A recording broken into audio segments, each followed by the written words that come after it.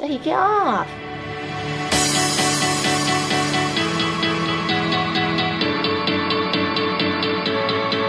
This is the countdown. Hey guys, it's Christine from Karma and today I'll be showing you how to turn a super plain $5 doormat into a super cool, awesome doormat. You guys can basically choose any word that you would like or any image that you would like to go on your doormat. I decided to go with aloha just because it's a little more fun and quirkier than just a plain hello or goodbye. So I decided to go with Aloha and you can do whatever you guys want. You guys can also change the paint color. I decided to go with the white, but you guys can go with a black or any other color that you guys would like. What I really liked about this DIY is that you guys can do whatever you want with it. You guys can switch it up a lot and basically do whatever your imagination desires. I hope you guys like it and please give this video a big fat thumbs up if you guys would like to see some more DIYs from me. And yes, this is my very first DIY, so please enjoy it and give this video a thumbs up if you like it. I'll see you guys at the very end.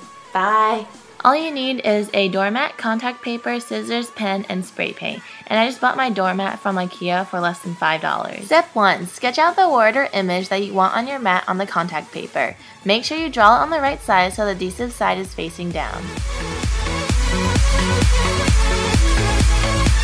After it is all sketched out, cut the word or image out of the contact paper, and make sure you keep all the holes from the O's and A's and from whatever else.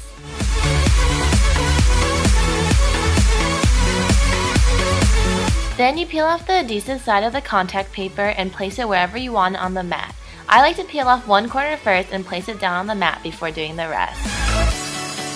The next step is just shake and spray. I like to give it around 3 coats just because it's white and can fade easily. Also make sure to spray outside on some newspaper or on some cardboard.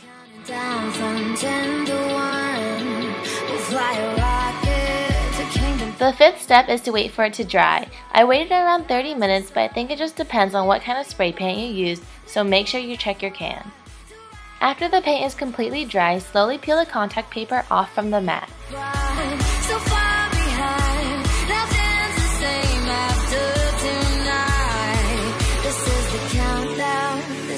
To get the other shapes off, I like to use chopsticks, just because it doesn't get my fingers dirty and it's a lot easier.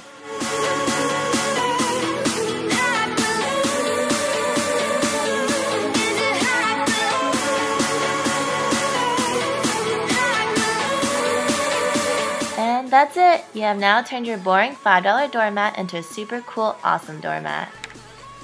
Thank you guys so much for watching my first DIY video. If you guys would like to see some more DIYs from me, don't forget to give this video a thumbs up. And if you guys would like to follow me on Instagram, it is at karmalove with two Ks. I'll see you guys in my next one. Bye!